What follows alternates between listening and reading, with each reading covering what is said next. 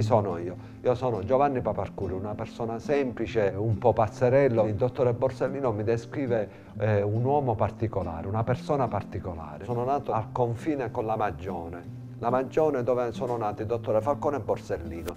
Mio padre, poverino, certe volte chiudeva la saracinesca dell'officina e ci riuniva noi figli e ci diceva ragazzi stasera c'è solo pane e mundica, cioè non c'era altro. Mio padre era un umano meccanico, la terza media, per fortuna il Signore mi ha dotato di una buona intelligenza, l'ho sfruttata al massimo, grazie agli insegnamenti di mio padre, grazie a quella professione io facevo anche il meccanico e grazie a quello che avevo acquisito come meccanico vinse anche un concorso come motorista alle ferrovie però non mi piaceva. Mi piacevano le sirene. Io dissi un giorno devo guidare questa macchina, non è possibile. Dopo l'omicidio del eh, procuratore Costa, il Ministero acquistò poi credo 300 macchine per proteggere i magistrati, bandì un concorso, mia sorella di nascosto mi presenta questa domanda, mi arriva la, neanche circa, sono passati neanche due mesi. Dopo due mesi mi arriva la chiamata del Ministero e poi, ironia della sorte, il destino ha voluto che non mi hanno assegnato all'ufficio istruzione dove dovevo correre con le macchine blindate.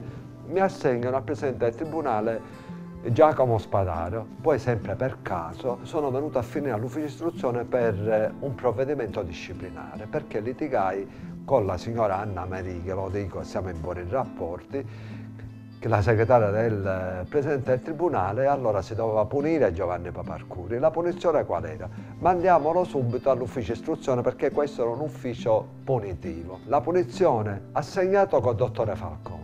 Io ero l'uomo più felice del mondo. Il dottore Falcone già aveva la macchina apripista, cioè la volante, la scorta di dietro e a volte anche l'elicottero e anche per noi era prestigioso, quindi al di là che non pagavano assolutamente straordinario, era pericoloso, ma chi ha scelto un certo tipo di lavoro, quello era il massimo, il massimo era il dottore Falcone o il dottore Borsellino. E di comune accordo con un mio collega Paolo San Marco ci siamo messi d'accordo che soltanto noi due avremmo gestito le macchine blindate sia del dottore Falcone che del consigliere Chinnici. Il dottore Chinnici sapeva che sarebbe stato ucciso. Lui ripeteva spesso, io so che mi uccideranno, però spero che non accada qualcosa ai, ai uomini della mia scorta. Eravamo tranquilli e sereni, ma sereni perché? Perché purtroppo noi siamo convinti che certe cose a noi non possono accadere. Però purtroppo puntualmente quel 29 luglio è accaduto, arrivo in via Pepitone Federico puntualmente, già c'erano la radiomobile, l'auto di scorta, l'Alfa Sud, in quel preciso momento il consigliere già era per le scale, stava per uscire dal, dal portone, il segnale anche per i killer fu il segnale che fece il maresciallo Trapassi, perché quando eravamo pronti per partire, il maresciallo con la sua mano sinistra faceva sempre questo segnale.